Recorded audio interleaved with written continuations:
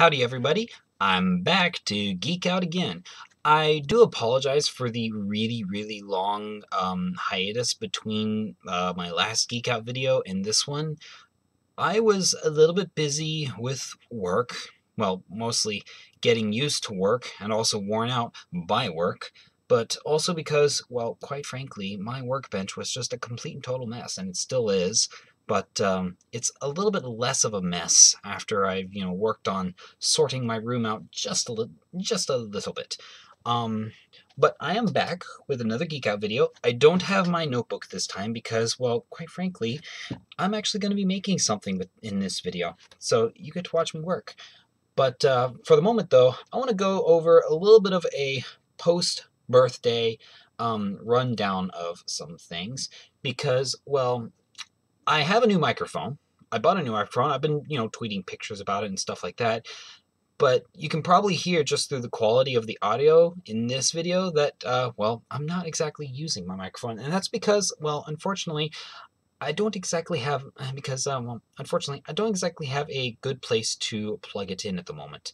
Um, I've tested it, so it works. So I have plugged it in somewhere. It's just the place that I have to plug it in is just not the best place to plug it in. So instead, I'm going to make a place to plug it in. And, uh, well, actually, I should probably just show it, show this microphone to you. Oh my gosh. XLR cables have such a snug fit, I swear.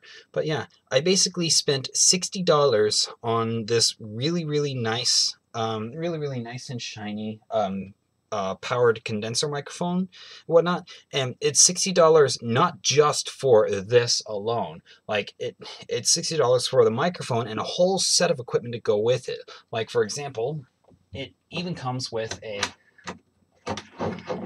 it also came with a phantom power supply 48 volts so you know 18 volts in for um, 18 volts in 48 volts out to the microphone to power it and then it produces a line level signal it goes out to the PC but it also came with this it came with a boom arm a um, it came with a boom arm, a mount to mount the microphone to the boom arm, a couple of pop filters, and XLR cables to connect everything together.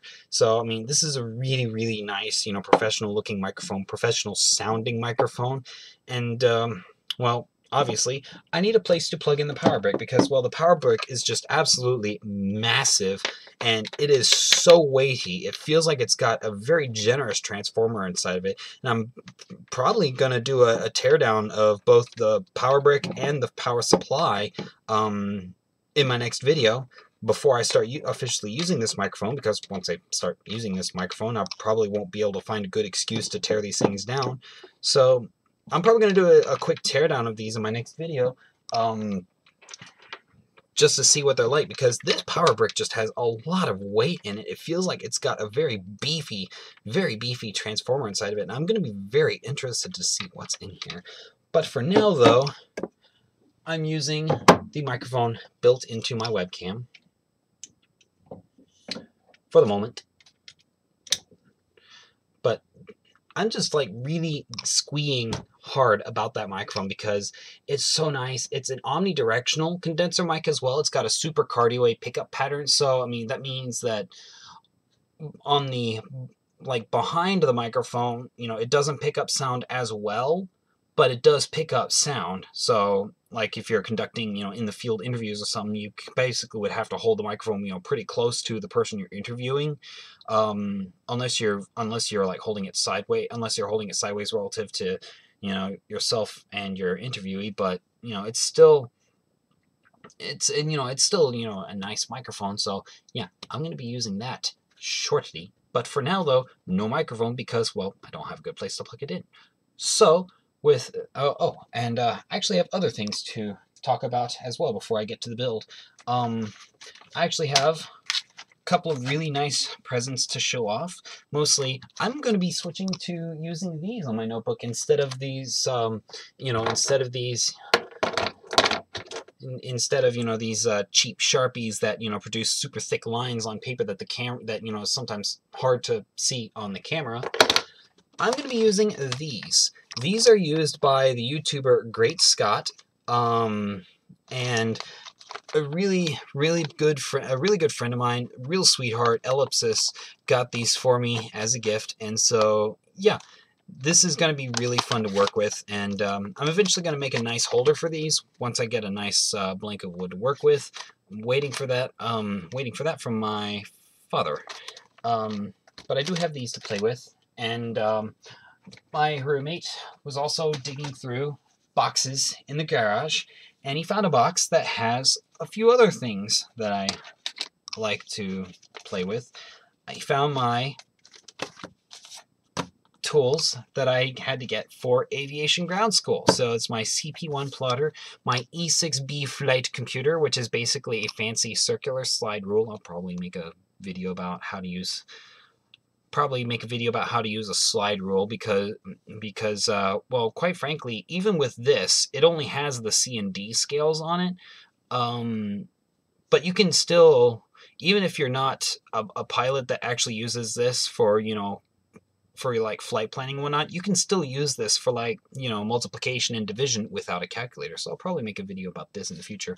And I also found my aeronautical charts for eh, the Atlanta region. So I'm probably going to get back into, you know, studying how to use this stuff again because I really want to get a private pilot's license. So it's nice that, it's nice that I found these. Uh, see here. That microphone was a gift to myself.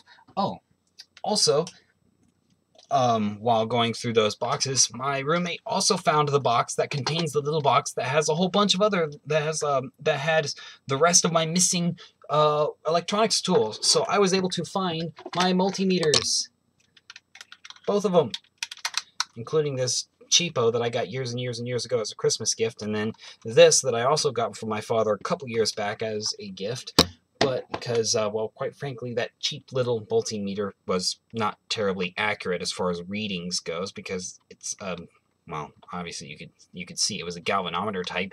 This is a digital display, so it's a lot more accurate to read. Um, you have to manually select your range, which is you know just fine, whatnot. But you know it it was cheap, inexpensive, and well, Dad got it for me, so I have a digital multimeter.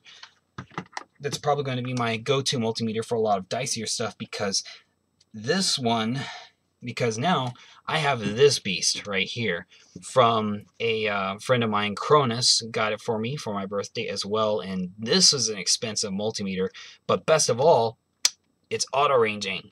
So you just pick what you're measuring and then it will automatically range itself um, it will automatically range itself. I've already tested it. It works exceptionally well. Um, I'm probably not going to be using this for like dicier measurements because, well, this is a nice multimeter. I don't want to blow it up. So I have that. But in that same little box where I found all my electronics tools, I found my snips. I've been missing these so much. You know, you, you any electronics workbench needs a good pair of snips. So I found my snips.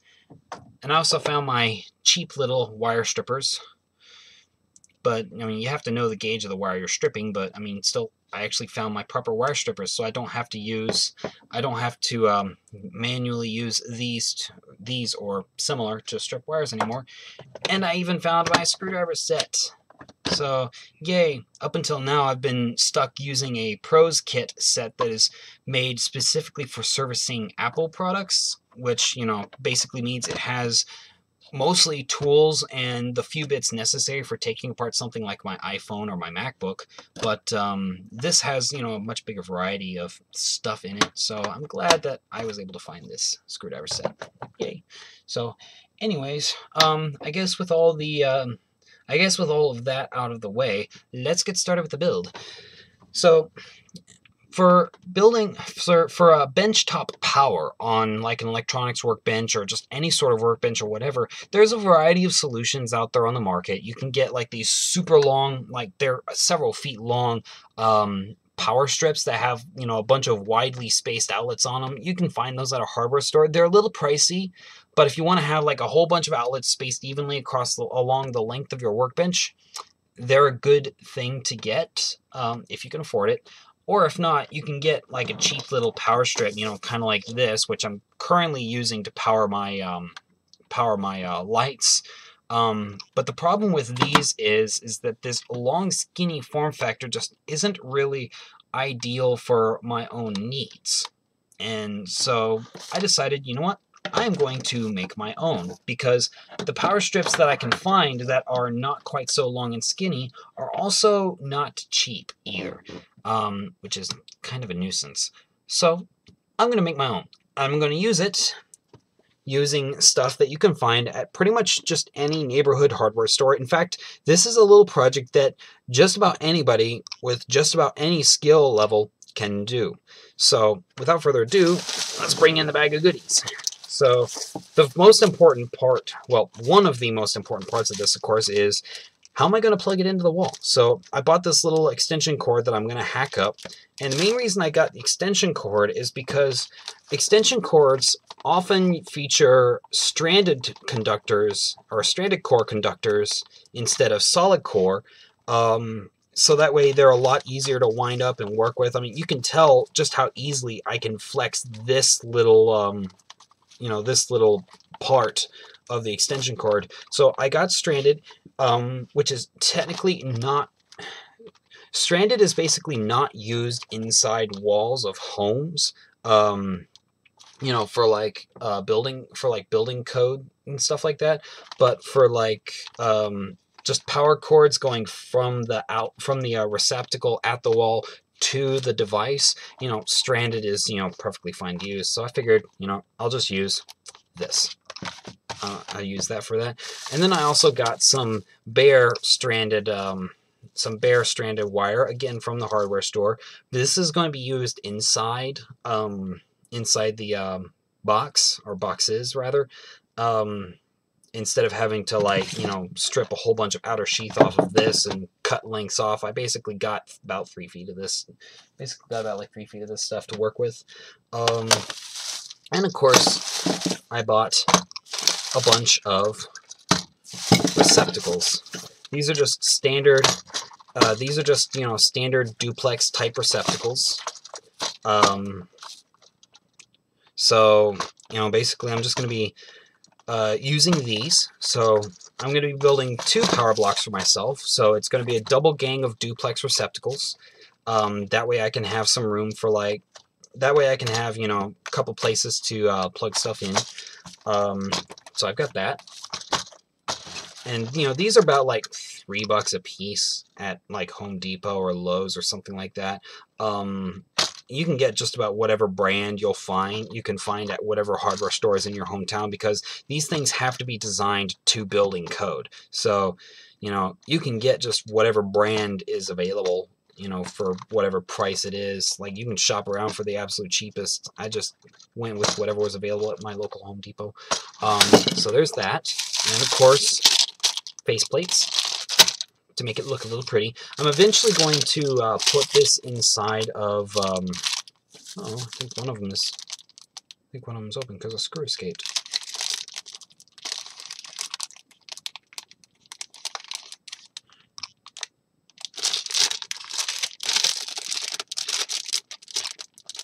I think one of these was open because a screw because uh, the uh, screw escaped. But anyways, but but uh, anyways, so um, I'm gonna be uh, eventually putting these power blocks. Uh, I'm gonna be building like a little, um, essentially like a wood. Um, a wooden box for them to put them in, but for right now, though, I'm just building like bare bones, but the face plates are to still make it look at least a little bit pretty. I'm going to put these off to the side here because I'm not going to need them for the moment. And then I got these for the actual uh, for the actual box itself boxes because I'm making two. You can get any kind of you can get any kind of electrical box that you want to get. I just like these because um, because well, it's not just the the design of the shape, but also because as you can see the screw and the side plate here, these are gangable. So you can actually just take your screwdriver. Uh, screwdriver's unwieldy. I got that. I got that. I'm borrowing that screwdriver for the moment. But basically, you can, you know, undo the screw a little bit and well, it's supposed to be gangable. Oh, twice off. So, you know, you take off this side piece right here and then undo this screw right here.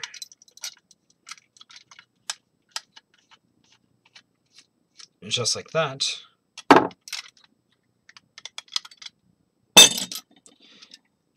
You see from there you can gang them together, just like that. So going to hitch them up. So actually I should probably do this in a way that you can see, but you see it has these little clips and whatnot, so you can basically you know, gang them up just like that. You do the screw in, just like that. These are these are just a little bit more expensive than the boxes that you know already come in like you know one gang or two gang type. But the really convenient part about these gangable boxes like this is you can also make three gang, four gang. You can even make five or six gang boxes using these things when normally you can't really get those, you know, nice and readily. So I got these because I like them because in the future I can take an already made, um, an already uh, made and designed, or well, not designed, an already pre-made uh, power block, and I can extend it by ganging another one of these onto the side, getting a new uh, faceplate and everything, building a new wooden box for it all. But I can actually expand it, extend, and um, you know, make it just a little bit bigger. So that's why I got these. So for now, though, we're going to go ahead gang, and just because I'm already doing this, I'm going to go ahead and gang the other two up, and we'll get back to them in a minute once I'm done ganging them. So I undo this screw right here. That comes right off just like that.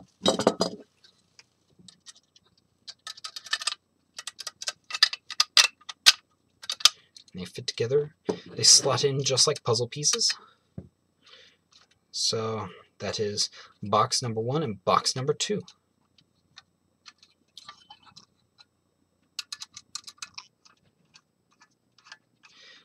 There we go, just like that. All right.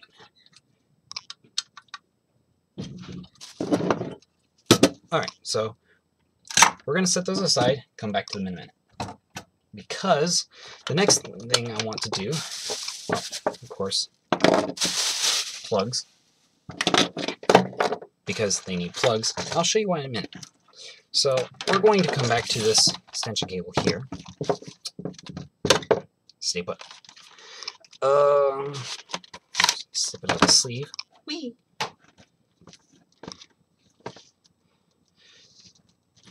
Now this is a 25 foot extension cord. I'm only going to need two pieces. I'm going to keep those tie wraps because I really like the plastic. I really love the plastic sheath twist, twisty ties. Um, so what I'm going to do here, I'm going to do something probably just a little bit unusual. And good lord, this is uh, this is going to be big and long and unwieldy. Oh lord. Um, I think I may have bitten off more than I could chew at my workbench. Um, I may have already just tangled this as well. Hang on. So, anyways, what I'm going to do is I'm actually going to cut this extension cord into fourths. So we're going to start like this. These plugs kind of, well, level with each other.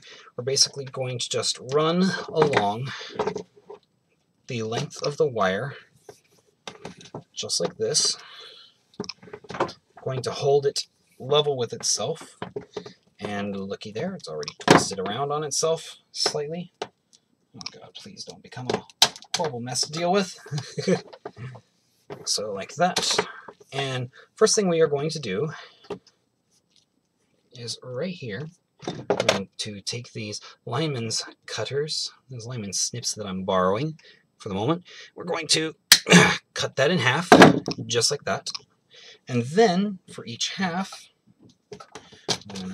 rewind, go back in reverse, just like that. And then we're going to take each half and we're going to split it apart. So we're going to start with this half here. And it's already tangled. oh, dear lord. In fact, it's twisting around everything.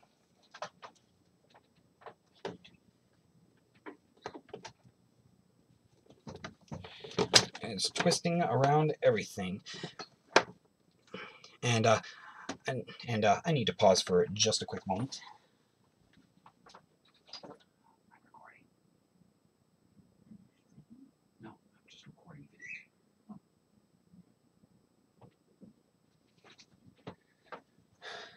Alright, and I'm back.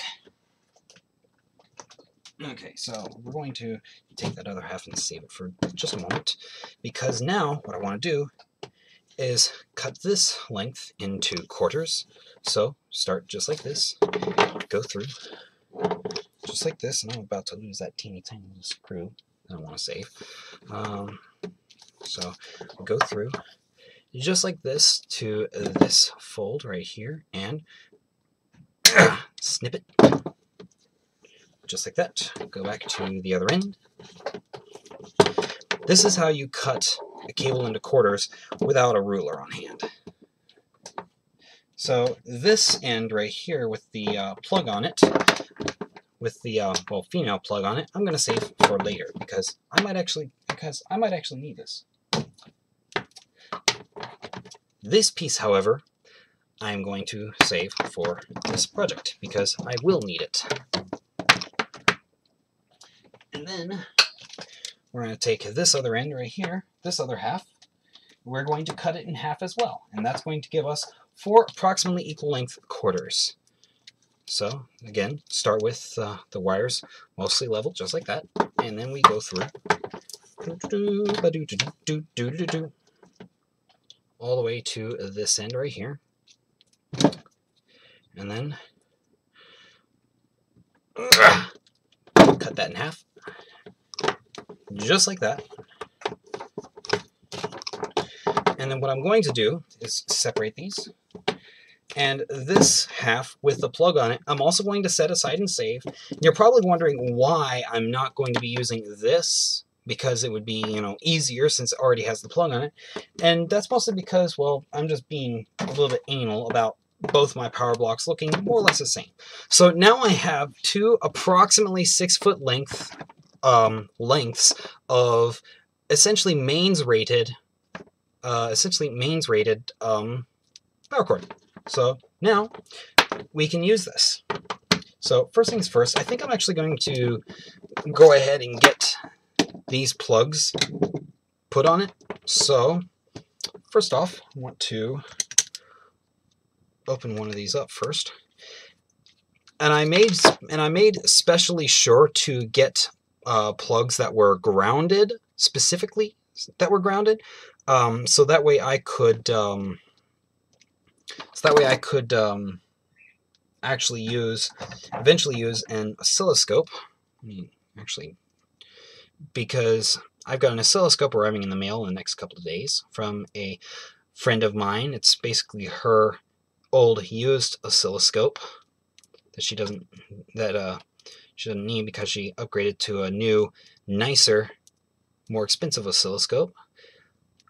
And because of that I need to make sure that my power blocks have a ground path because oscilloscopes measure everything with respect to ground.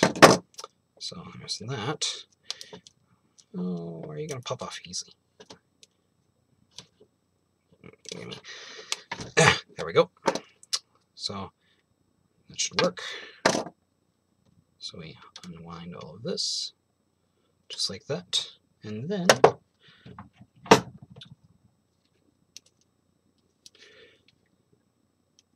So you are not 10 gauge, not 12 gauge either. I believe you are 14 gauge. So strip out, strip about half an inch back. Uh,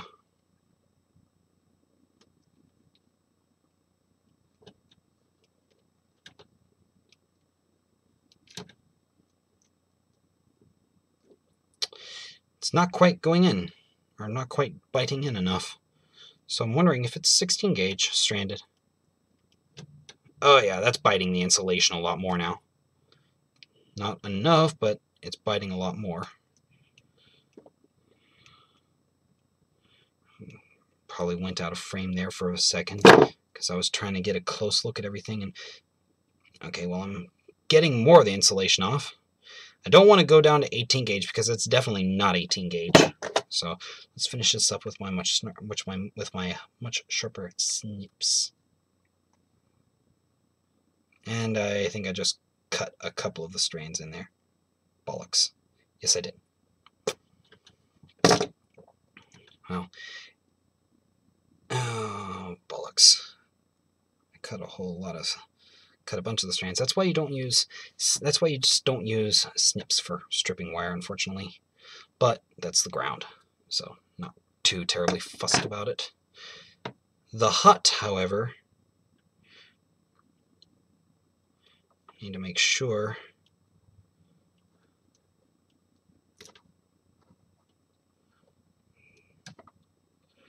that I don't lose too many of the strands.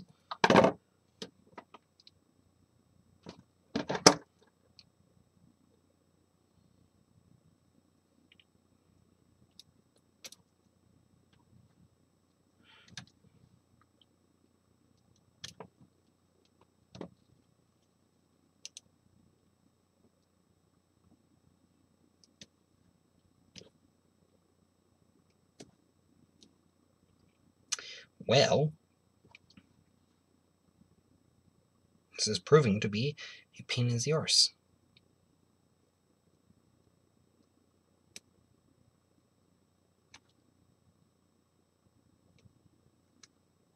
To have to resort to using my sharp snips mostly for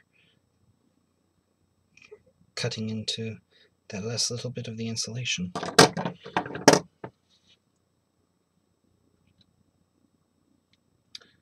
Uh, dang it, why are you not cutting?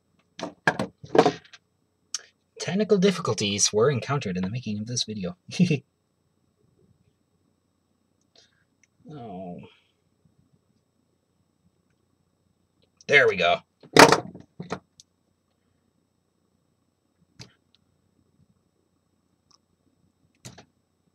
There we go. And not a single copper conductor was harmed. Oh yeah. Okay, so there's that. So now we got to do white.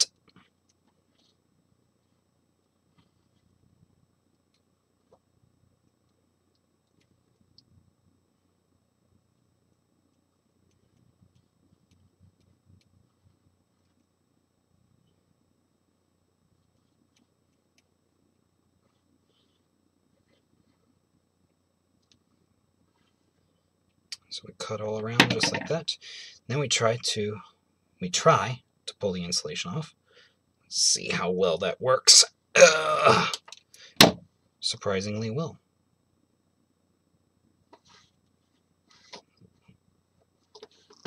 I think I was out of frame there for that, but couldn't be helped. Okay, so now I have the lugs to wrap the wire around.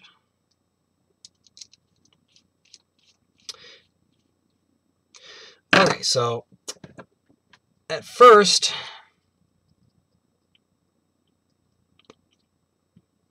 let's see here, what do we got here?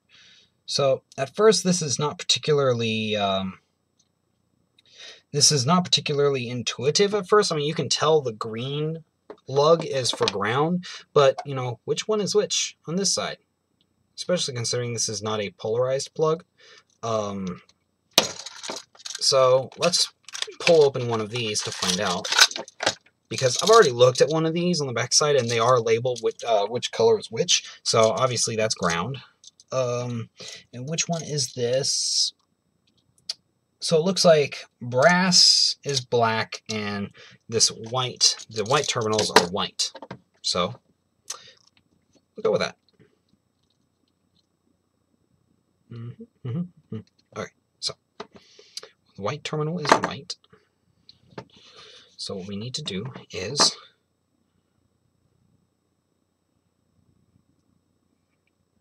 we need to basically you need to basically curl this around so that will hook around the terminal. You need to do the same thing for this one.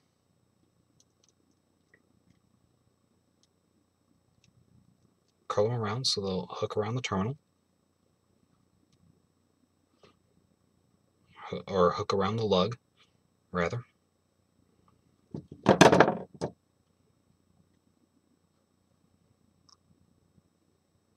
So kind of like that. And then what we do is, well, obviously, we hook the wires onto the lugs. Just like that. Like that. And, oh, if I can fit this ground in there. Come on, ground. Squeeze in there.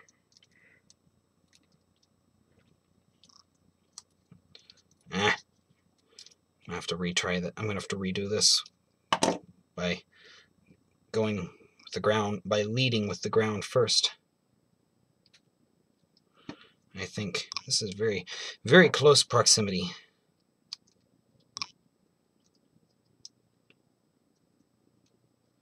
to each other. So it's kind of difficult ah, to get your hands in there. There we go, just like that. And just like that. So once they are hooked on, this is a nice thing about a lot of about a lot of electrical stuff in the United States, at least. They make it pretty easy and self-explanatory.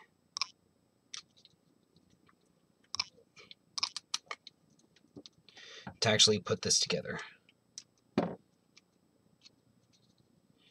Oops, it's not fully underneath the lug. There we go. Oh, it's a bit more underneath the lug. See, just like that. And then ground gets tightened down.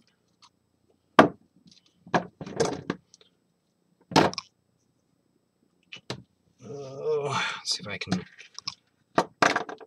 get a little bit more of that underneath the oh lug. There we go. a little bit more of that under the lug so we'll have good contact.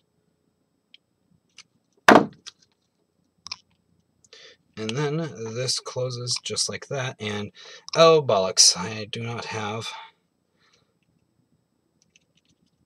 very good contact on the strain relief of the for the outer sheath. Oh well. So that that will that will more or less generally hold, so...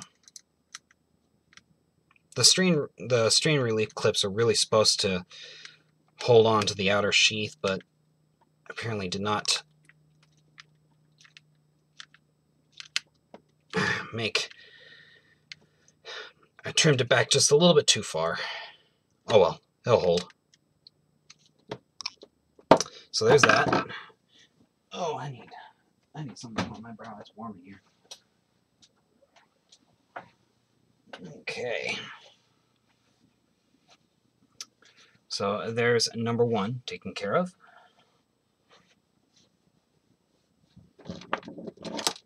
So we'll take that, set it off to the side. Now for number two. El número dos. So once again, we cut through the outer sheath to strip it back.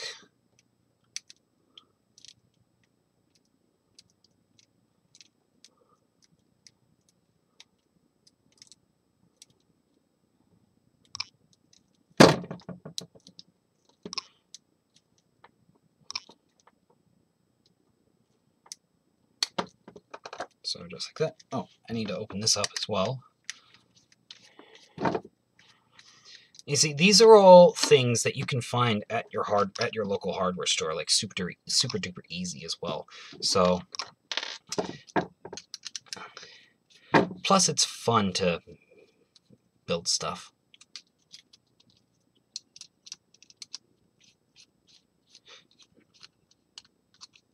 So there we have that, we have that, and then we have that, uh, just like that.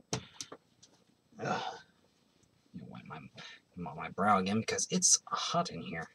H-O-T, hot. So,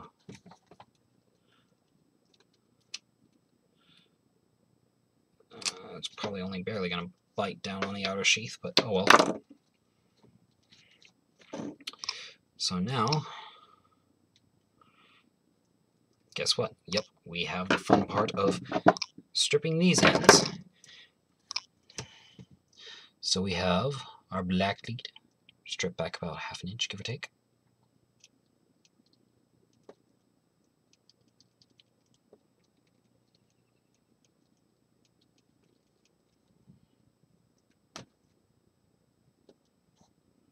Yeah, these are definitely 16 gauge.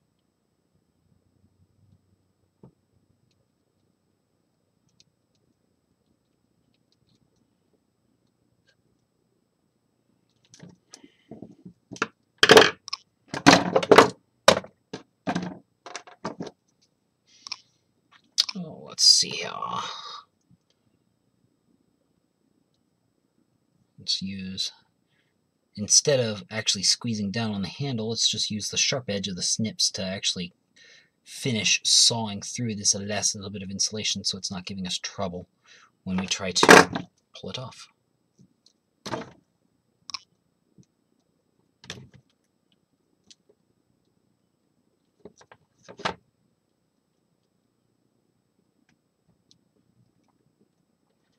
Ugh, come on. There we go. There we go.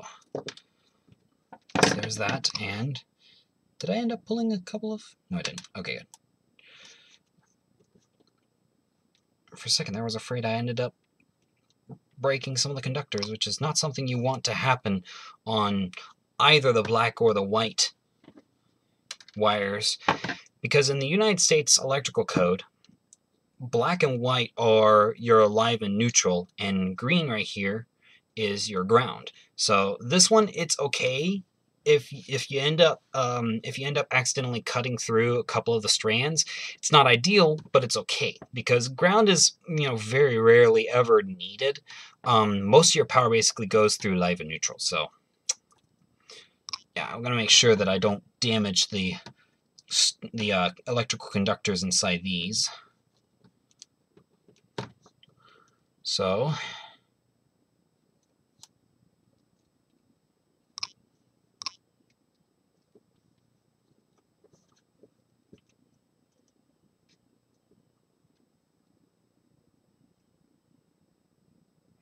if I can.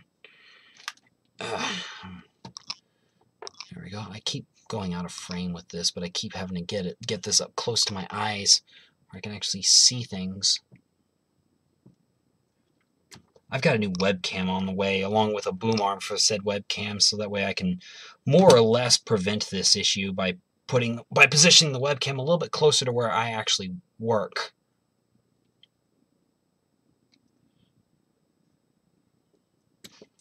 And it's going to be a much higher webcam than this, so soon you'll be able to see my videos in glorious 1080 HD. And it will be progressive scan 1080 as well, not interlaced. There we go. And there's that, and not a single strand is damaged. Good. And so now it's time to strip this ground. Also in the United States, uh, electrical code ground itself can come either as a green sheathed wire like this or as a bare conductor. Just to give you a hint as to you know how rarely used ground actually is, the electrical states can uh, the uh, United States electrical code actually allows ground to be a bare copper wire.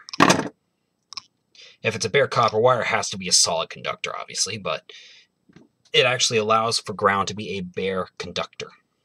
That's how rarely it's actually needed. So now we fold this over.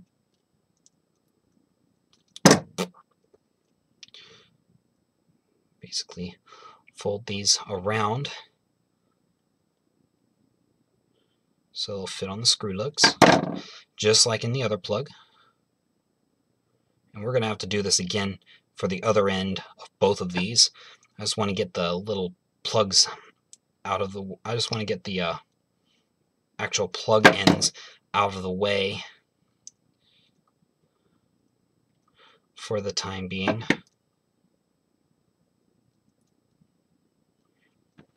Because we're going to be needing this for connecting all these duplexes together. Okay, so now that that's done, oh, let's see here. I'm gonna have to sort through this. So black to go on that side.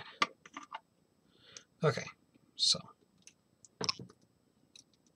hook that around.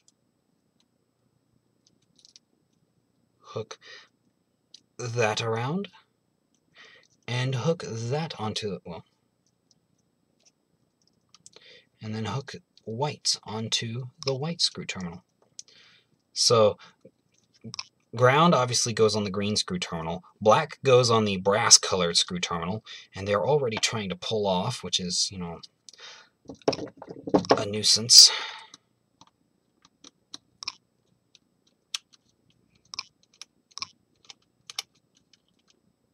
Tighten that down just a little bit so I can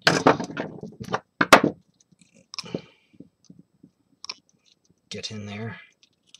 Okay, so I'm going to have to redo that one just slightly. I think I made a bad choice getting these this style of male plug, but I didn't want I did not want super, super bulky plugs like this. So sometimes you gotta sacrifice convenience for style. That secure just a little bit. Double check the white.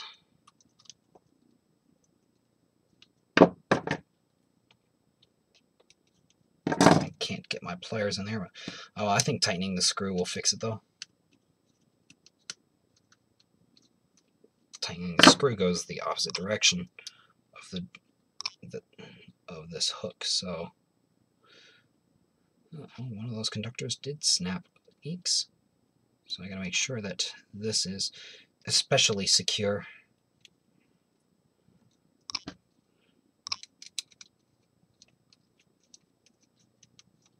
There we go. So now that those are uh, snug and secure, let's tighten them so they won't come undone.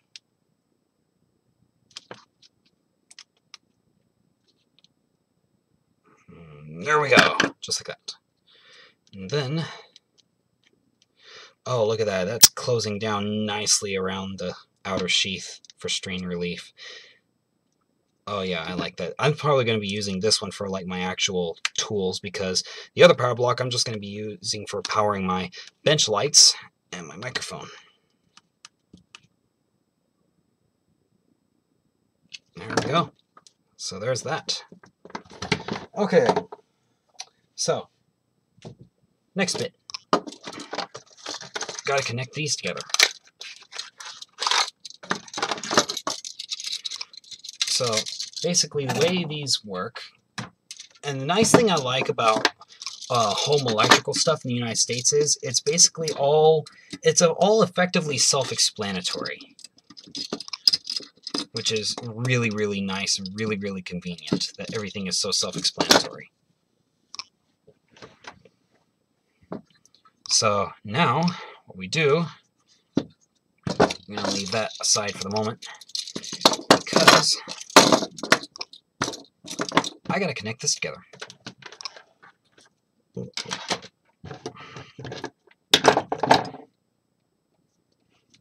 Uh, gauge was this again? Doesn't say.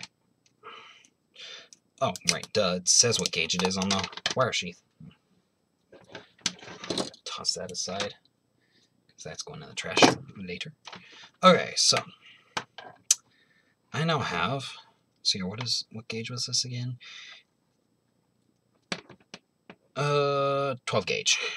It says right here on the sheath, AWG12, American wire gauge. So I need, first and foremost,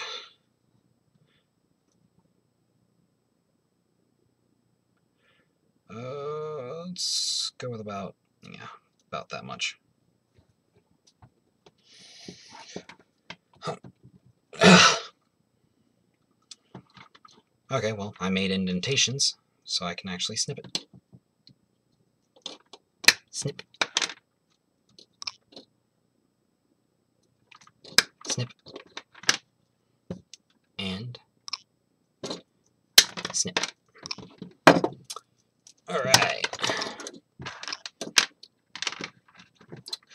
Once again, we strip it. So now we go to the 12 gauge, the 12 gauge hole, and we start our stripping process, which is going to take a little bit, I think.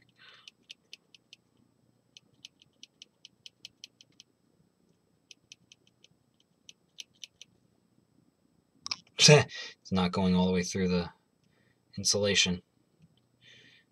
Cheap wire strippers.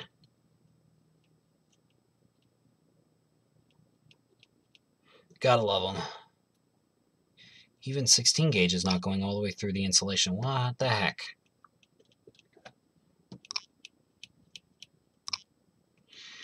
I really need a better pair of wire strippers.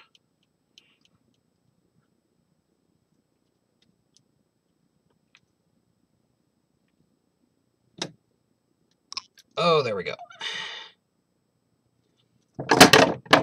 Oops. Mm, there we go. Oh yeah, look at that. That's beautiful. Alright, so let's go back to 12 gauge. Let's see if we can strip this properly.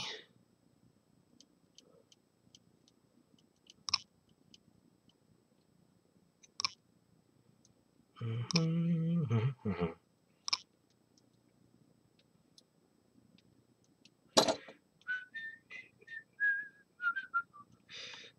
Oh, here we go. Nope. 16 gauge ain't working. Or 12 gauge ain't working, so let's go to 14.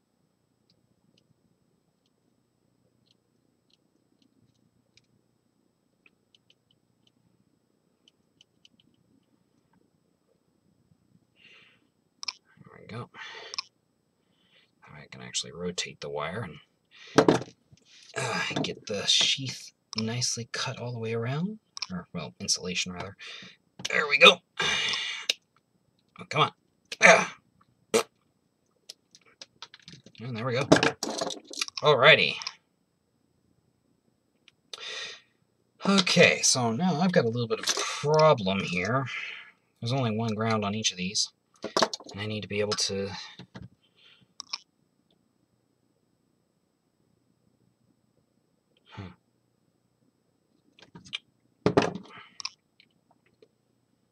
See, there's only one ground on each of these, and there's one ground from here. So I'm going to have to figure out some way to make this work.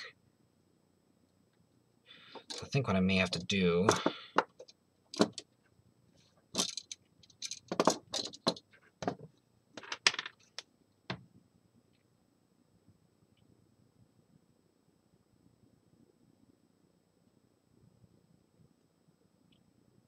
Hmm.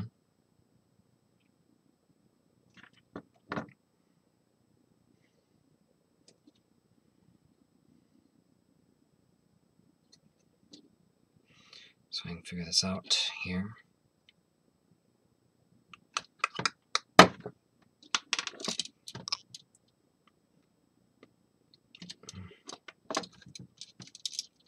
How far out can I unscrew you, or are you already as far out as it'll go? You're already as far out as you'll go. Of course. Oh, so it's gonna be I'm gonna be hard pressed to actually make these fit together. Probably should have cut longer lengths of wire, come to think of it. I should have cut longer lengths of wire because there's going to be some tight, there's going to be some close quarters for all this.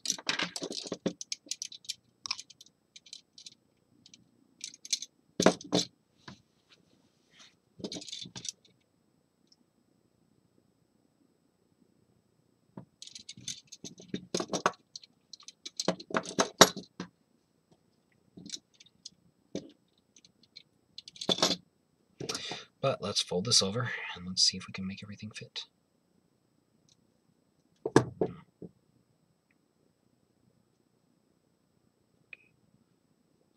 think what I may have done is gotten uh, wire that's just way too big gauge for this project because the extension cord that I got is only rated for 13 amps and this wire right here is rated for 15.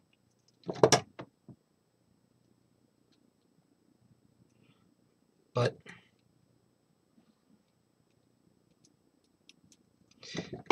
err on the excess makes ensures that you have plenty of ensure err on the excess makes sure you have plenty of wiggle room. So meh. That'll do. Oh, get in there. Oh, I am not going to be able to fit all, all of my ground wire on all of these. Oh, that's going to be such a pain in the butt. I probably should have gotten...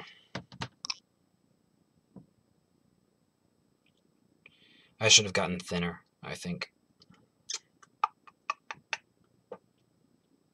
Hmm. Well, I can save that for later. Because we can improvise. What I will simply do is quick about, mm, say about, you know, six or eight inches, give or take. It doesn't really, doesn't really matter how much I actually snip off. But we'll snip that off, and then what we will do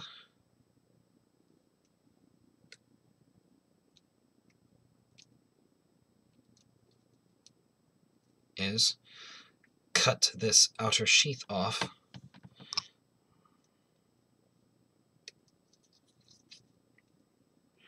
and since this is all twisted around each other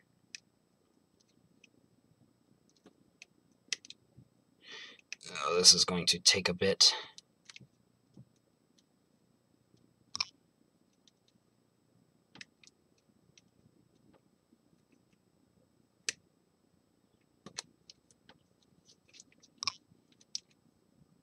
This is going to take a lot longer than I originally anticipated. Oh well.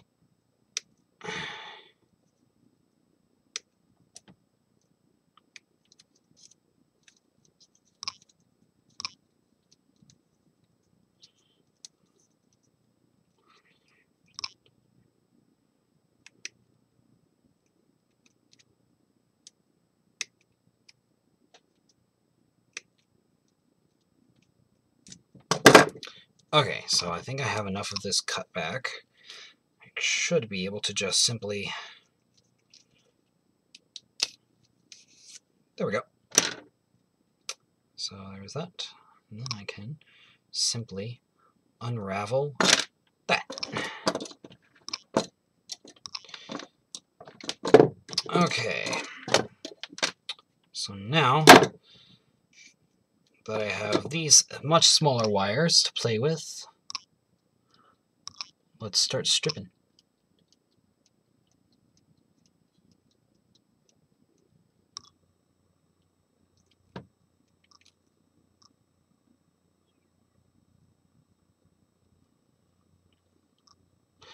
So, uh, come on. There we go.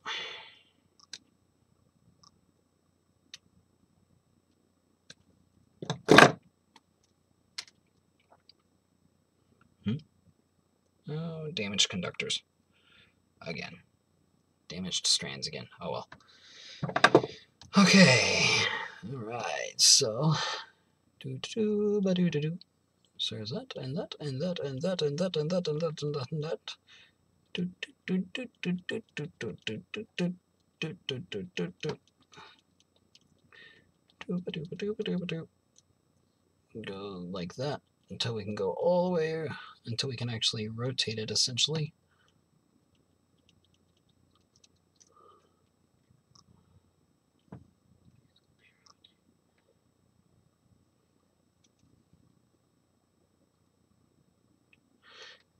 This is extremely, extremely flexible insulation.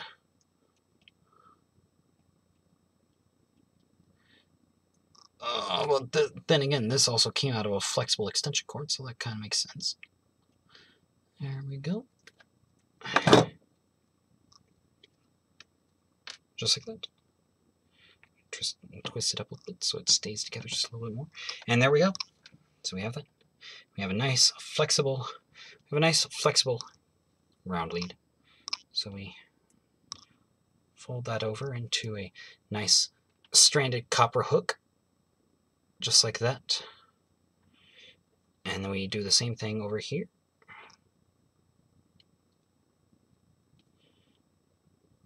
Now, let's test it. Let's see here. Because I want to be able to... Oh, yeah, I should be able to fit...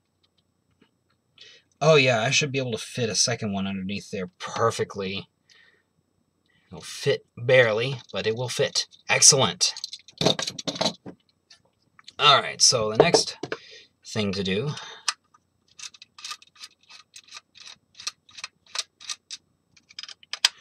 is start getting these boxes ready.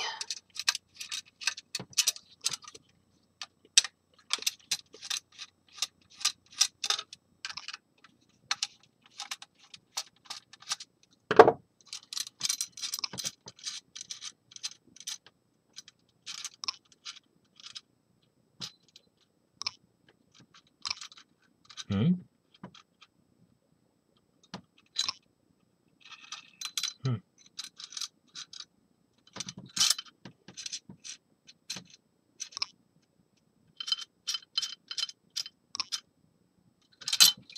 Alright.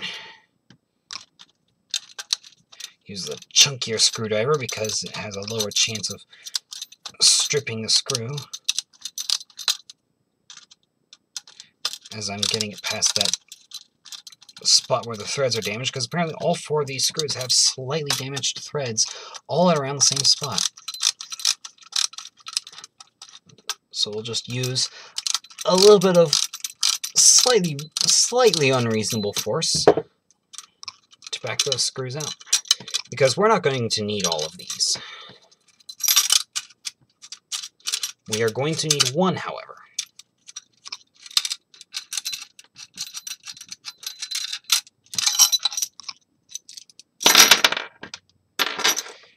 we are going to need one because these are called knockouts.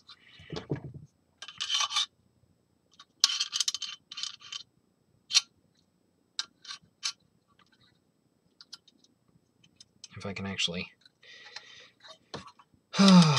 get my screwdriver around one. See, you fold it back just like that.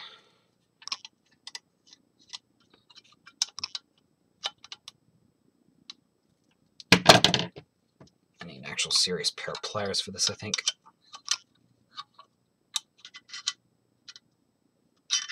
I can just fold it back and forth a bunch of times and use work fatigue. Okay, so the idea is these are called knockouts. So you basically knock it out. And the idea is to slip the mains wire through here and use one of these clips to basically hold it down in place. So now what we do is we take this, we slip this through, just like that. we slip this through the knockout, just like that. Put this down here out of the way for now. We're going to strip back several inches of insulation this time around, or several inches of sheath, outer sheath, this time around. So I got plenty of slack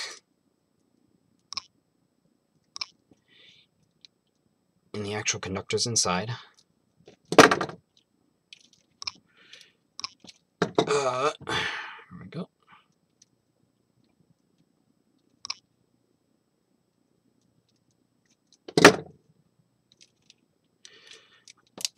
There we go. Toss that off to the side and crap.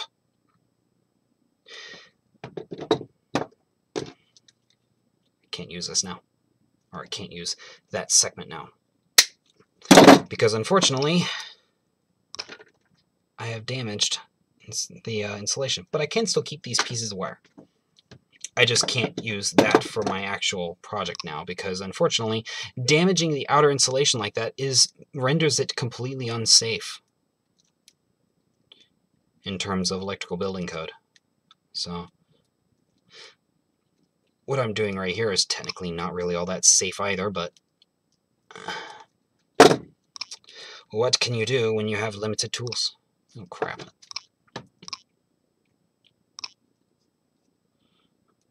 And the downside to using flexible wire like this is the manufacturer also uses flexible sheath, so it's that much harder to work with because, well, I mean, the sheath likes to bend and stretch and stuff. So, oops, wrong, wrong strippers. I should not use my snips to strip wire.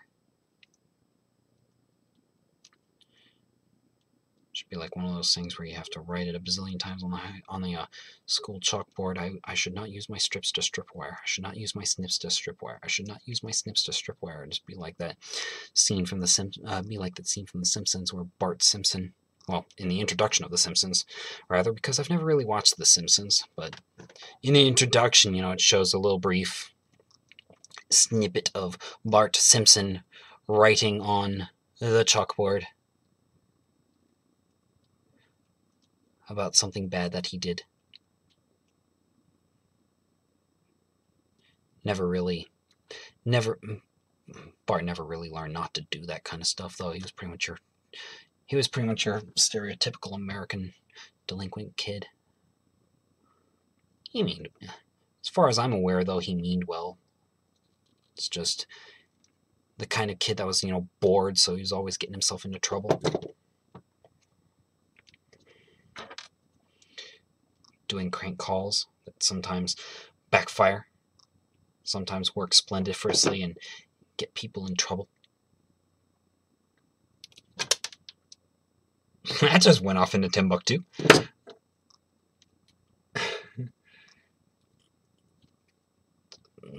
just pulls off and just goes, wee! Off into the middle of nowhere.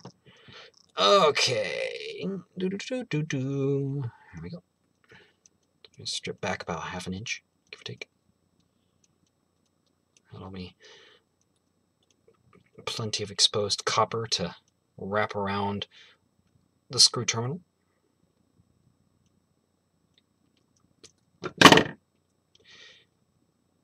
And I can already tell I have damaged some conductors on the live.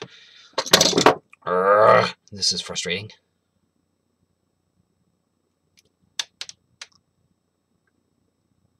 Yep. Slightly damaged, but they're not detached, which is good.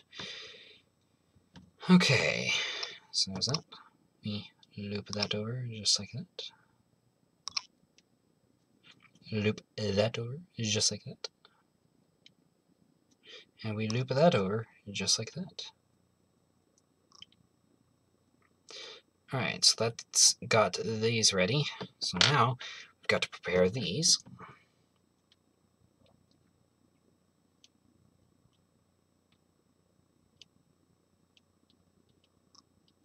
So just like that.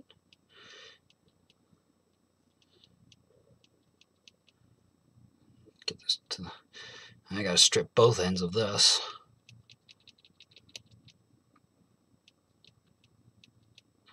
Do do do do do do do do do.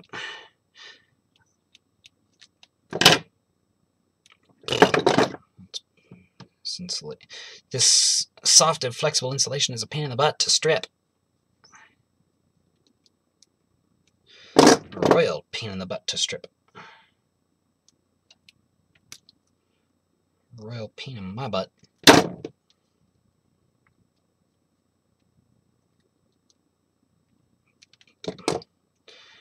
Okay, you know?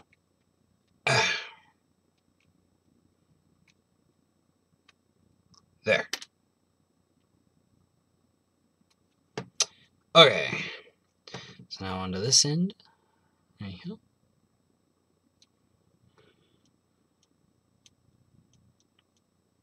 Do, do, do, do, do, do, do, do, do.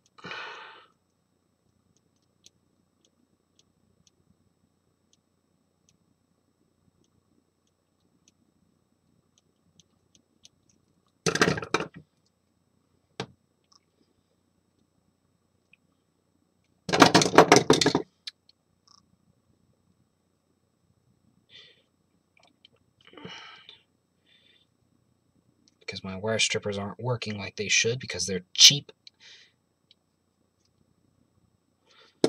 I'm going to resort to the sharp edge of my snips to finish the job. Come on.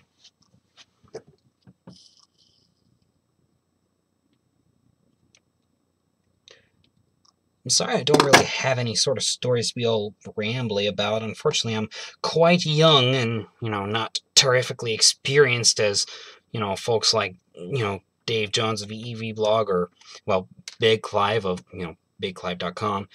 I'm not as terribly experienced as those gentlemen, so unfortunately I don't have any interesting work stories to go to be all rambly about when I'm doing something like this, but oh well, this is still fun to do regardless. Oh, a stray little conductor trying to be all free willy on me. Nope. You are going to stay twisted up with your brethren. Just like that.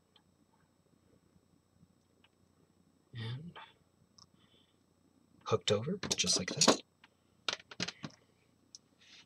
All right. One more wire to go.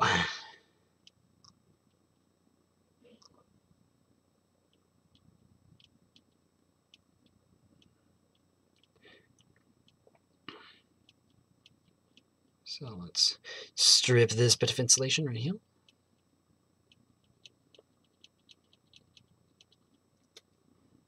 Hmm.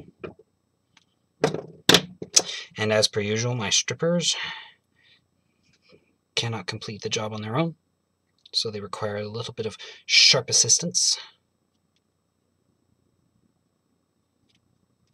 from the snips.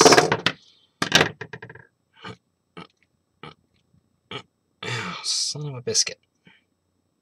Okay, I think that's... Yeah, that sheath is fully detached. There we go. And then and then these go over here. Oh. Cheap wire strippers that can't do their job.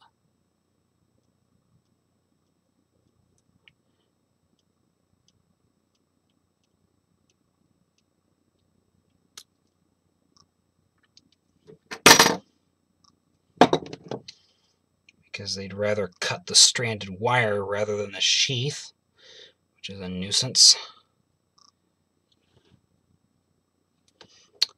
Oh, let's see how. Should be good. Oh, come on, break, break, break. Yes. And there we go. There's that. And then we fold that over just like that into a nice lovely hook to hook around the screw. We fold that over into a nice lovely hook to hook around a screw, uh, just like that. Okay, so now everything should be ready to connect it together. So first order of business is connect the white. If I can get the wire in there, Come on. Get in there. Are you screwed as far out as you go? You'll, you're screwed out as far as you'll go. Okay. Um, I may not have stripped it far enough, but oh well, we will use slightly unreasonable force to force it in there. Okay. So there's just like that. Oh, stay put.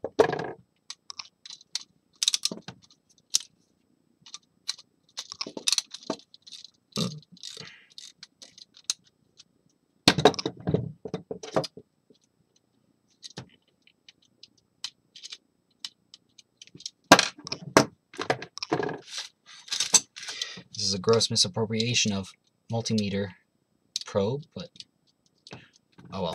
I need I need a sharp point to get down in there. So there we go, just like that. And since the and uh, I think technically the screw is not supposed to bite down on the insulation like that, but I will be I'll be testing with the multimeter here in a minute. Get you out of my way.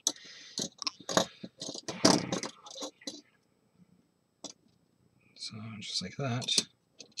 And this one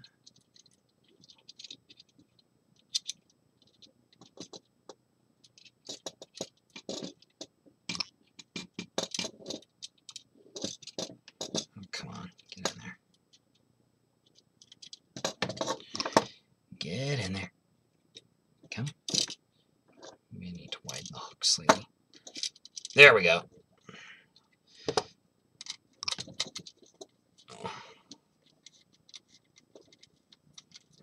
Screw bites down and makes contact. Oh, just like that. And nice and secure.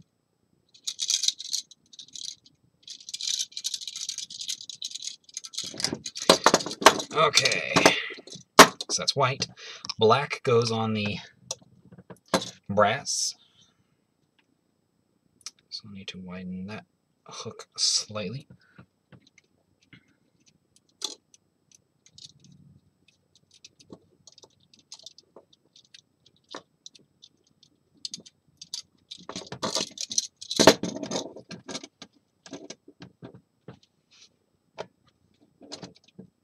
Again, gross misappropriate. Once again, gross misappropriation of multimeter test lead, but the sharp point gets it in there.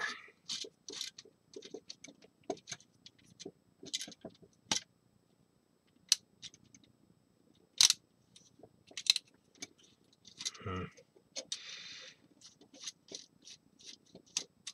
Need to hook this around the different the other way this way. So the screw will actually bite down and pull it in.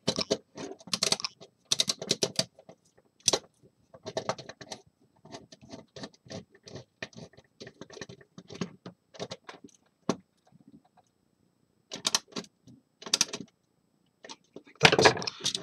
So makes good, pretty good contact. Good enough. Um, Okay. Now, okay, so what direction you go in again? You go in uh. Okay, so yeah, lefty loosey, righty tighty, as usual. And yes, that's how I actually remember it, is lefty loosey, righty tighty. That's that is a common mnemonic in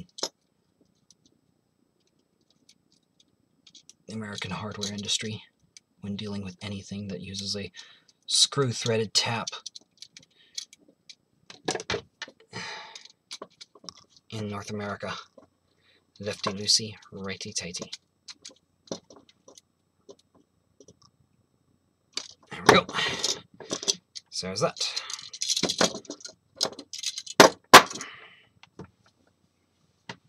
Okay, so now Okay. So want you to be connected in.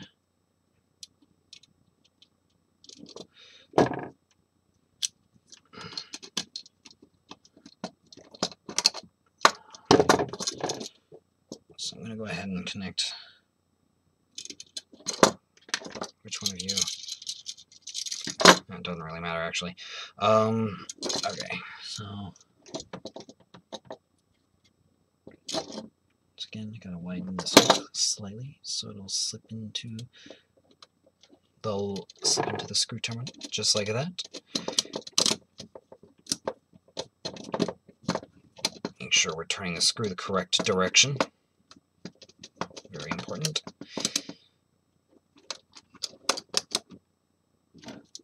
Ground is perhaps the most important connection in all of in all of building code worldwide, simply because it's what makes things safe from you know giving you an undue an undue trip to the ER.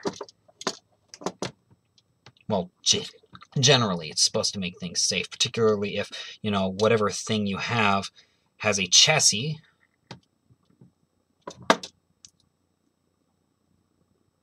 Especially a metal chassis. Alright, now here's the hard part, is fitting two ground leads onto one screw terminal. And, oh, that'll fit. Perfect. Yay.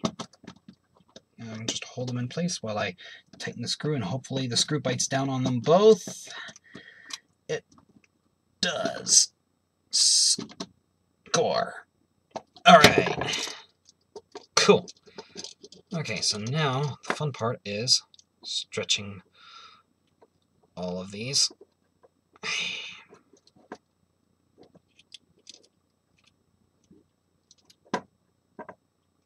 Getting all of these around the screw terminals so I can tighten them.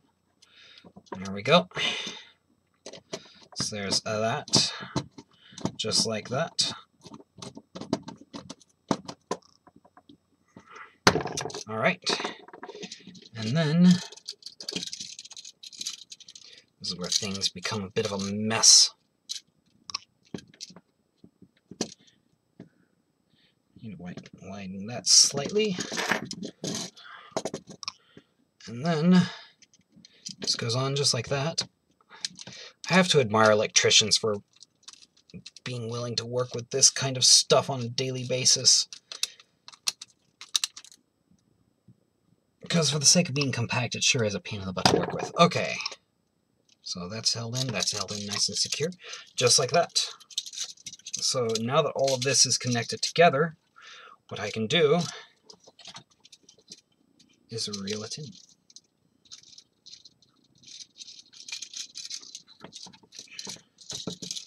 Like this.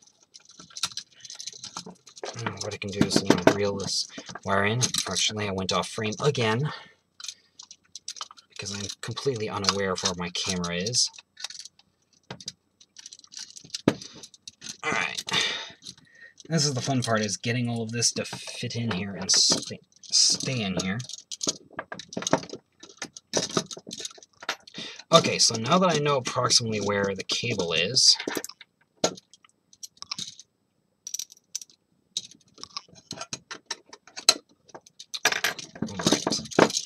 right, right, right.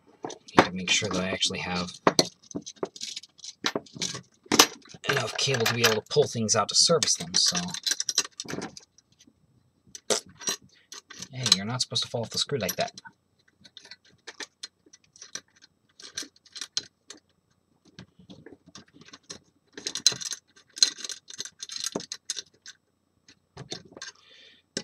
And this is where you can see I need I need I need the beefier I need the screwdriver with the chunkier bit for this part. Uh, this is also why I got these boxes as well because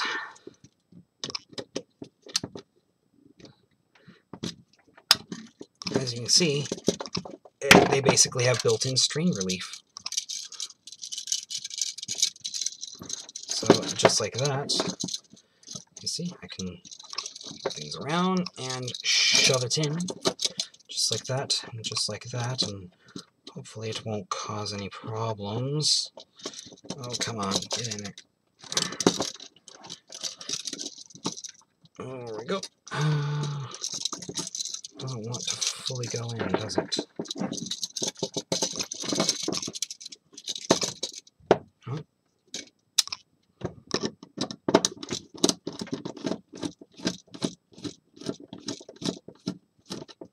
Let's loosen this up just a bit. I'll allow a little bit more cable in so I can twist it around just a little bit more.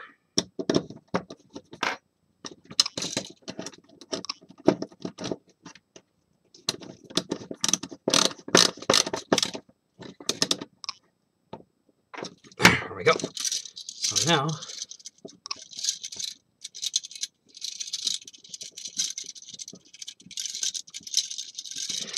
make sure these are facing the correct direction as well. So everything twists around and should be able to just slip right in, just like that. So now I can use my small screwdriver, hopefully, possibly. I'm going to start on the front side here, actually. Also, another little pro... That screw is made for chunky screwdrivers. Also, another little pro tip when working with screws, in order to avoid cross-threading, something that my dad taught me to do is you get the screw lined up with the hole, just like this one is, and you go backwards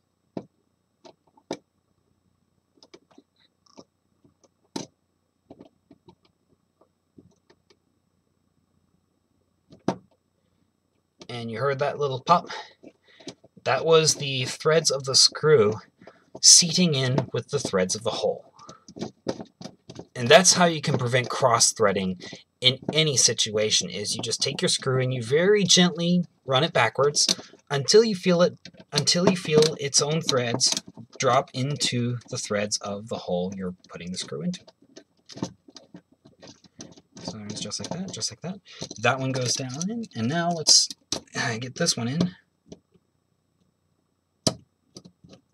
Once again, get the threads of the screw seated properly so we don't get any cross-threading. It would help if I was able to hold on to the uh, screwdriver as well.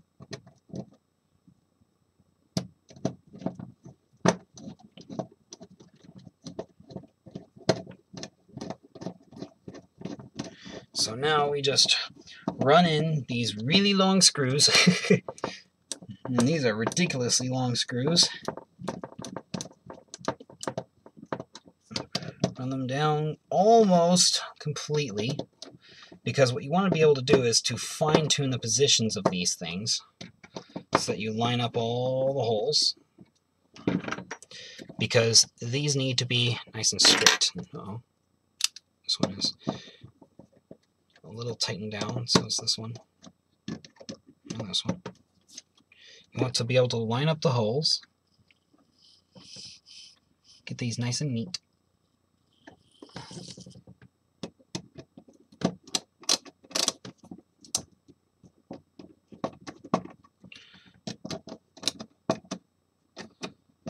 So that you'll be able to put the faceplate on top.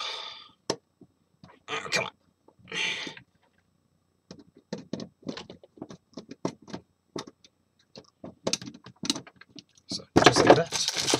And from there, we, uh, if I can figure out how to open the faceplate.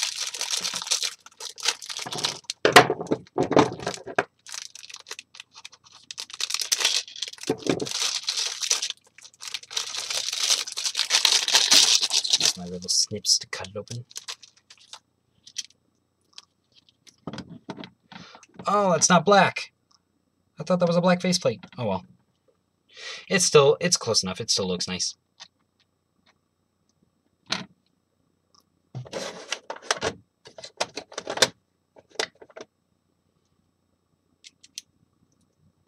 Just like that. And so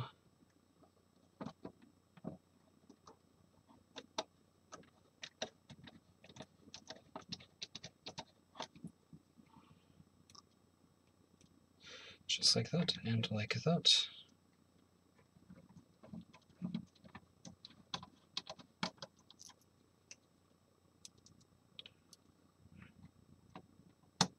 And it should go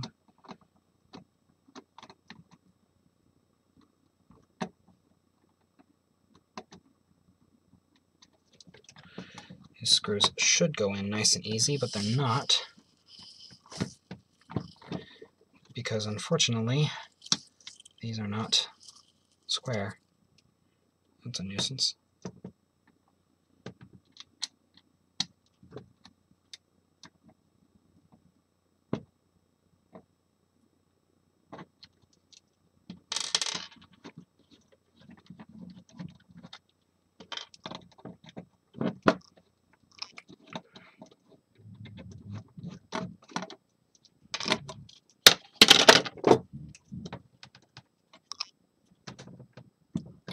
Yeah, these are not aligned as nicely as I would like them to be. Get this in the middle here where I can back it up and realign them again.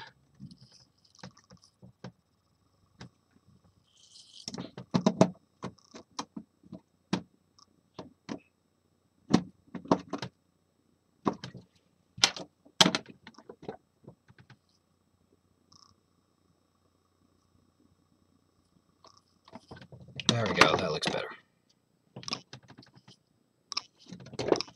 This one also needs a slight realignment.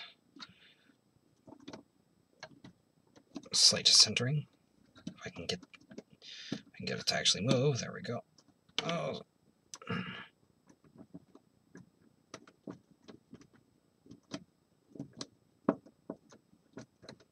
we go. And uh, that should fit. Okay. I thought these were black face plates. Oh well. I'm not going to lose too much sleep over because it still looks nice. And I'm eventually going to build a nice wooden case to go around these to make them look a lot nicer.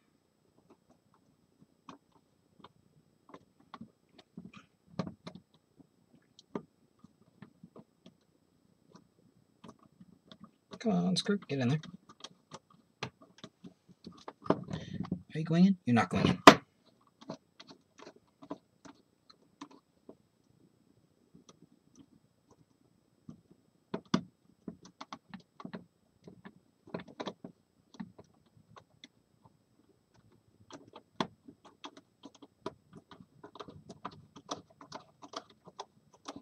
There we go. That one went in. And now for this one over here.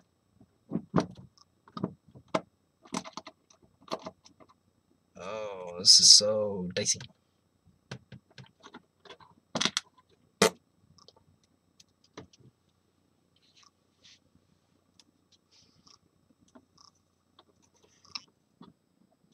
I have a feeling the way this was supposed to work is I was supposed to put all the screws into the faceplate first and then put the faceplate on while it's holding onto all the screws for me.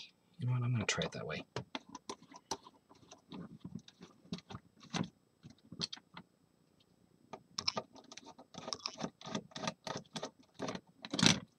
So,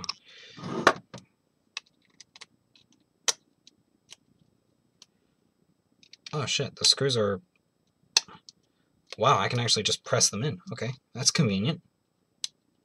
Just press it in, press it in, and then press it in, just like that.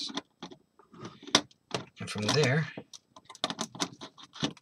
that is convenient. Oh, from there, I can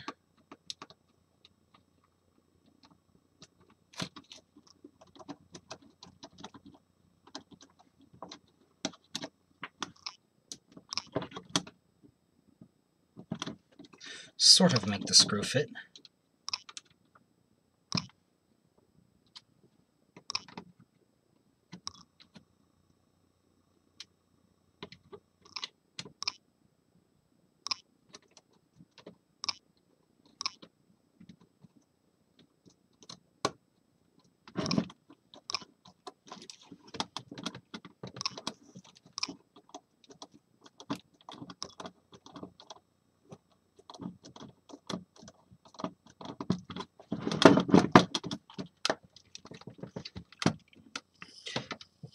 God, I do not envy electricians for having to deal with stuff that won't align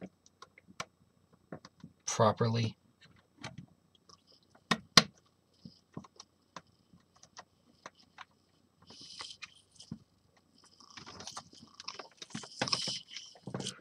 I do not envy electricians one bit for having to deal with this kind of stuff.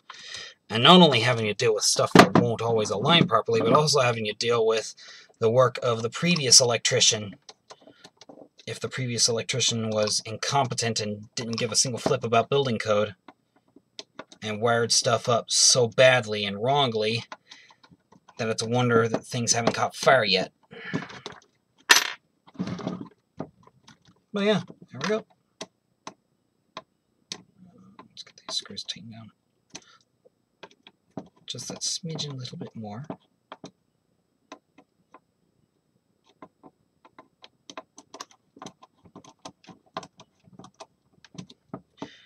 Since these are decorator style, they do protrude ever so slightly. It's not perfect, but it works. Well, it looks nice. So now, the important bit is, did I wire this up correctly? And to do that, we will need to test it. So, before we actually plug it in though, I want to do a quick little lesson about AC mains using an extension cable that I already have on hand. So, plugged in, this thing is live. We'll use this multimeter right here. So, AC mains, as we all know in North America, is effectively 120 volts RMS at 60 hertz sine wave. Um, and I say 120 volts RMS because RMS is the effective voltage of an AC sine wave. Well, 120 volts is the effective voltage of the AC sine wave. It's technically, I think it's more around like 130 something volts peak to peak in actuality. Um, but the effective voltage is about 120 volts. So if we so if we measure the live and the neutral pins on this socket right here, says Scott, nonchalantly shoving the probes of his multimeter into a live electrical socket, it should measure somewhere around the order of 120 volts. And it does, about 117 volts. That's close enough, right? So there's that. Now, in order for AC to work, I'm going to unplug these here. In order for AC to work, your alternating signal, your alternating current signal has to oscillate around effectively a known or assumed reference voltage. Now, in terms of mains electricity, that reference voltage is zero volts, and so your and so your power and so your uh, essentially your power signal, you know, your power your yeah your AC uh, power basically oscillates plus minus 60 volts RMS around zero volts and that's technically supposed to be zero volts with respect to ground, but sometimes, you know, it's just a little bit off. So this sense is, so here in the United States, this is a standard NEMA plug. These are NEMA receptacles here. Um, this is actually a polarized, or this is able to accept a polarized plug. So you can see one of these is slightly longer than the other. Um, so one of these is going to be hot, and one of these is going to be, or one of these is going to be live. We also call it hot here in the United States. And one of these is going to be neutral, or, you know, not hot. So what we're going to do is we're going to take this probe, and we are once again going to shove it into this socket right here, being careful not to touch anything metal at all. And we're going to put this into ground. And as we can see, and this probe is making contact with metal. Uh, if I can actually get a closer look in there. Yep. Okay, this probe is making contact with metal, and the meter is measuring effectively zero volts with respect to ground. So that means the wide plug in a standard United States polarized socket, or, you know, the wide prong is supposed to be neutral. So just to double check that, let's shove this probe into what we what we think is the live socket, and voila, about 120-ish volts with respect to ground. So, with that in mind, unplug that because we don't need anymore. Let's bring this back over here. And these are tamper resistant, so they're going to be just a little bit more difficult to actually probe. We're basically going to plug this in and hope things don't blow up. Things are not blowing up yet. So, now what we need to do is we need to test it. Okay, and get these probe wires untangled here. So,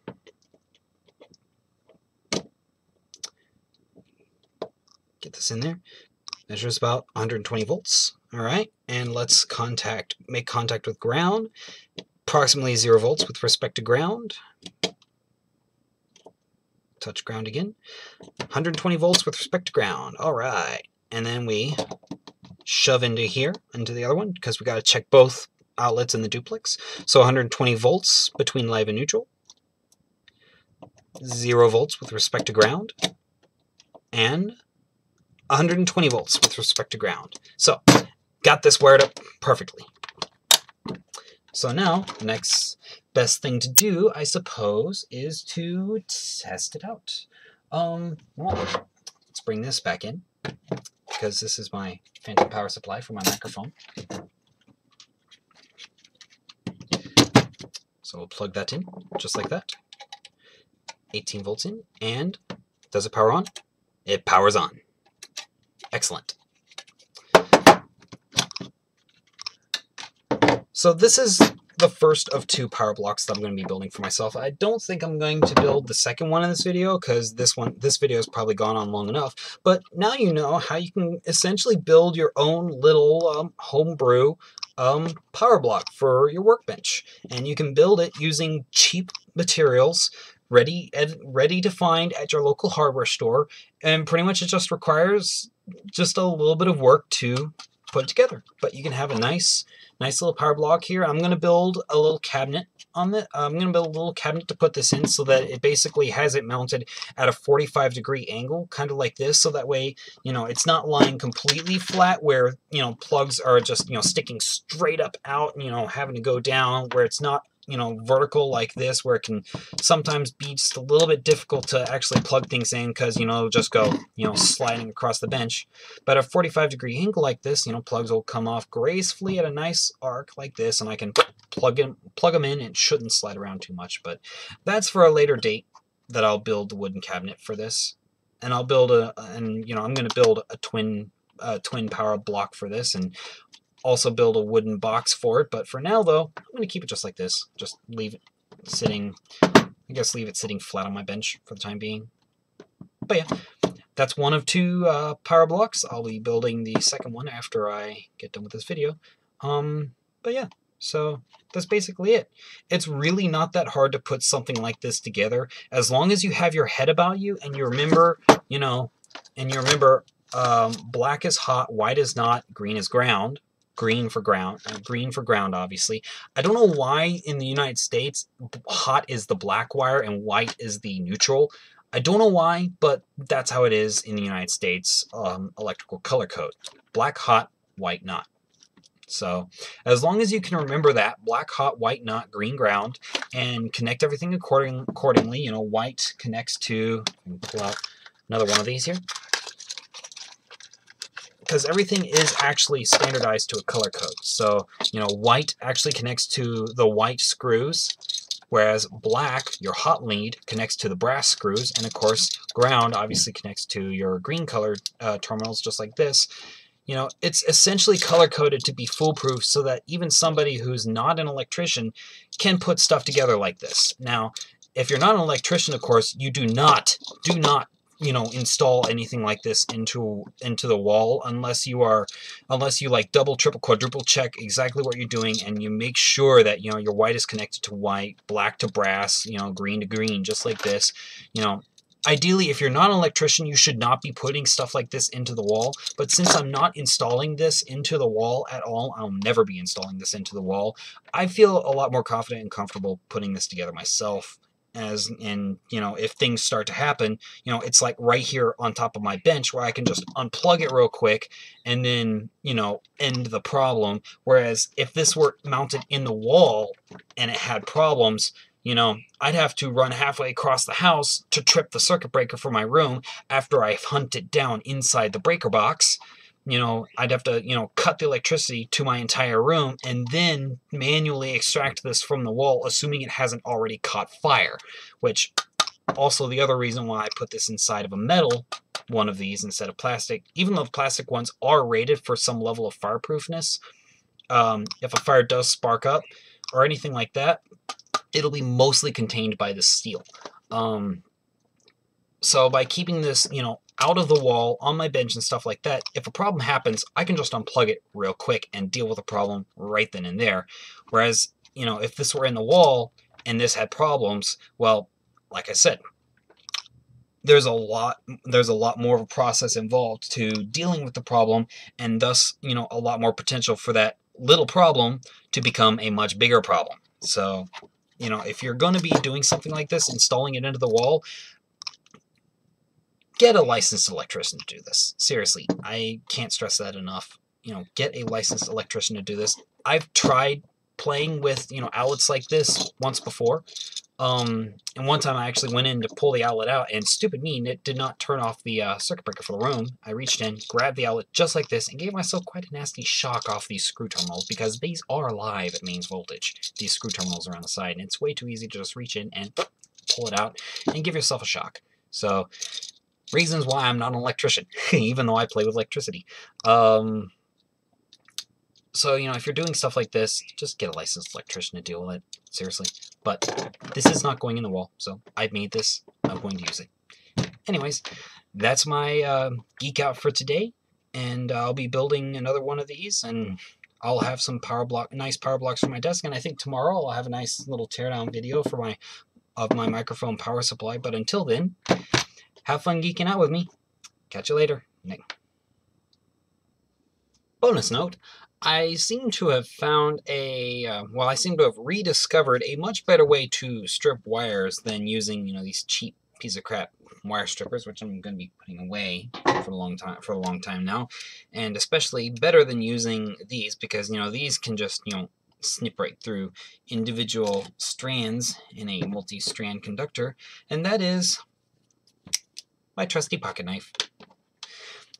And before, essentially before the invention of the wire stripper, which I'm sure was invented shortly after the electrical wire was invented, um, actually just in the absence of having a wire stripper on hand, you know, if you have a nice sharp blade, you can actually strip a wire just by doing this number with your pocket knife. As long as you are careful, apply just a little bit of pressure with your thumb to press the wire against the blade,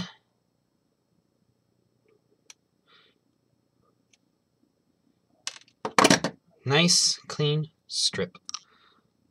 Just like that. I really should have tried this out, you know, the first time I was making the video, but I was kind of committed to staying at my workbench as much as possible to finish this, and my pocket knife was halfway across my bedroom. But I have my pocket knife in my hand right now, and to show you how much faster this is going, I mean, look at how clean that cut is. That is a beautiful clean cut right through the insulation. And the blade only slightly nicks the outermost bit of the strands. Of course, this probably would not work very well in like very fine gauge stranded wire um, because, you know, the much smaller strands would be easier for a pocket knife to actually cut through them. But, yeah. So, yeah. Side note over. Catch you later.